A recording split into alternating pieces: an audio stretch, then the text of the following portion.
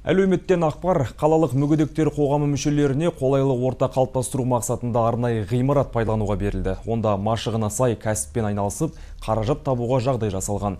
Қамкөңіл жандарға қамқорлық турасында тілші бейнематериалы. Несібелі Мүсілімова осыдан жеті жыл бұрын тағдыр сынағына ұшырап арбаға таңылған. Бірақ оны мүмкіндігі шектеулі жан деп айтуға ауыз бармайды. Бүгінге дейін үйде отырып ақ түрлі қолөнер бұйымдарын жасап, табыс тауып келген екен.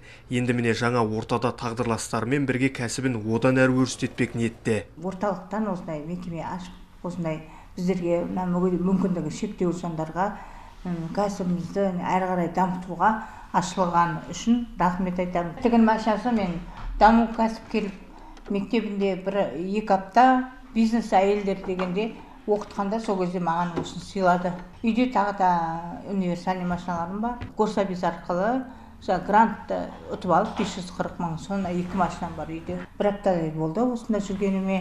Өзім жаныма қыздарды алып жатыр уже жаймен деп қолөнермен айналысып көше жерді дамытамыз деген ойдамын. Әлихан Бөкейханұлы көшесінде орналасқан бұл ғимарат бақытты отбасы орталығының филиалы ретінде ашылған. Дегенмен бірнеше бөлмесі бос тұрған еді. Сондықтан қала әкімінің ұйғарымымен мүгедектер қоғамына пайдалануға берілді. Мұнда оларға қолайлы орта қалыптастырып, қолдан келген кәсібін өрістетуге мүмкіндік бар.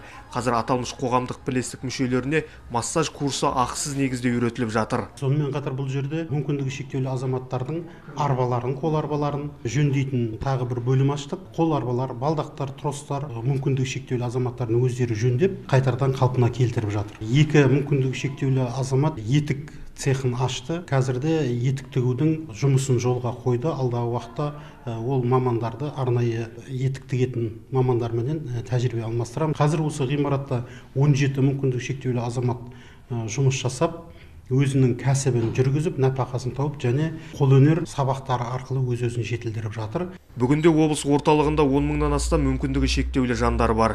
Бұл ғимарат сол қамкөңіл азаматтарға серпін сыйлайтын жылылық ұясына айналмақ. Ол үшін әлі де қажетті құрылғыларға қаржы қаралып, жанашырлықпен жағдай жасалуы қажет ақ. Елжас Әбділда, Талғат Әлменов, Төрехан Қожахметов, Қызылорда телеарнасы.